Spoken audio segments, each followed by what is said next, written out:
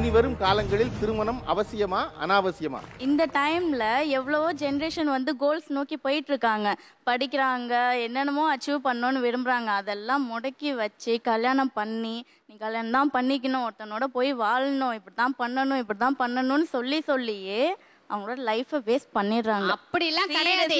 ஒரு boy friend ரெண்டு boy friend மூணு பாய் ஃப்ரெண்டு உங்களுக்குலாம் நல்லா பைக்ல போகணும் சுத்தணும். அவன் நல்லா வித விதமா ட்ரெஸ் எடுத்து கொடுப்பான். சாப்பிட்றதுக்கு வாங்கி கொடுப்பான் சரியா போயிட்டா?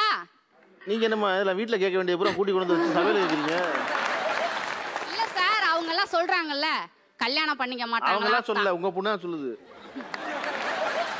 எதனால இந்த கல்யாணத்துக்கு தள்ளி போடணும்னு நினைக்கிறீங்க?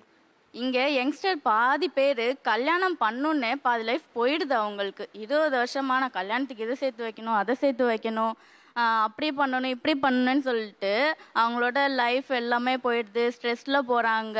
நான் ஒண்ணுமே சேர்த்து வைக்கல சார் அவளுக்கு. சும்மா தான் கல்யாணம் பண்ணிக்க போறாரு மாப்பிள்ளை. சும்மா கல்யாணம் பண்ணி கல்யாணம் பண்ணிக்க. போறாரு. வேண்டவே வேண்டான்னு சொல்றேன். விருப்பமே இல்ல. பக்கத்துல உள்ளவங்க அப்படி சொல்றாங்க. அந்த அவங்களோட பொண்ணு வந்து கல்யாணம் பண்ணிக்கிட்டாங்க குழந்தை பெத்துக்கிட்டாங்க அதுக்கு நான் என்ன பண்ண முடியும்? நீயும் கல்யாணம் பண்ணு குழந்தை பாருங்க. எப்படி பேசுறாங்க. பாருங்க சார் இது நியாயமா கொஞ்சமாவது நியாயமா இருக்கான்னு பாருங்க. வர ஜெனரேஷன்ல எவ்வளவு எவ்வளோ அச்சீவ் பண்ணிட்டு இருக்காங்க. சோ என்ன குழந்தை பெத்துக்காம இருப்பீங்களா? எல்லாம் அப்படியே நிக்க போறீங்க. கல்யாணமே பண்ணிக்க மாட்டீங்க. ஆம்பளையே தேவையில்ல உங்களுக்கு? சொல்லுங்க பாப்பா. அதுதான் சொல்றேன். கல்யாணம்? பண்ணாமலேயும் ஆம்பளையோட இருக்க முடியும்னு? சொல்றேன் நானு. உங்களுக்கு ஒரு துணை வேணும்னு தானே பாய் ஃப்ரெண்டோட போறீங்க? செக்யூரிட்டியா சரி பாய் ஃப்ரெண்டோட போறோம். அதுக்கு எதுக்கு அது அவனை புடிச்சிட்டு போய் கல்யாணம் பண்ணிக்கோ கல்யாணம் பண்ணிக்கோன்னு ஒரு ஏதாவது ஒரு பாய் ஃப்ரெண்ட் கூட போனா அவனை கல்யாணம் பண்ணிக்கோ. பண்ணிக்க முடியாத.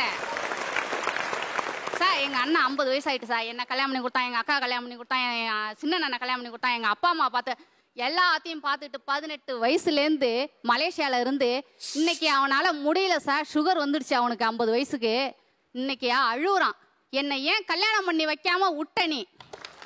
அன்னைக்கு நான் கல்யாணம் பண்ணி வைக்கிறேன்னா. பொண்டாட்டி பிள்ளையெல்லாம் தொல்லை. ஊர்ல எல்லாரும் ரொம்ப அவதிப்படுறானுங்க. ஃப்ரீயா சுத்த முடியல. இன்னைக்கு அவன் அழுகுறான்.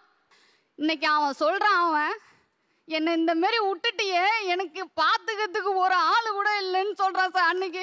உடம்பு சரியில்லைன்னு சொல்றான். நான் இங்கேருந்து சுடு தண்ணி வச்சு நான் எடுத்துக்கிட்டு போக வேண்டியதா இருக்கு. ஃப்ளாஸ்கில் காஃபி போட்டு கொழுக்கட்டை பிள்ளையார் சுத்தி கூட காலையில செஞ்ச உடனே இங்கேருந்து நான் ஓட வேண்டியதா இருக்குது.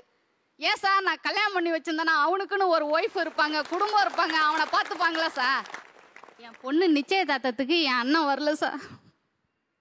எதனால அவர் வரல? தான் கல்யாணம் பண்ணி வைக்கல எல்லாரும் கேக்குறாங்க எல்லாரும் பார்ப்பாங்க தனியா வந்து நிக்கிறான்னுட்டு.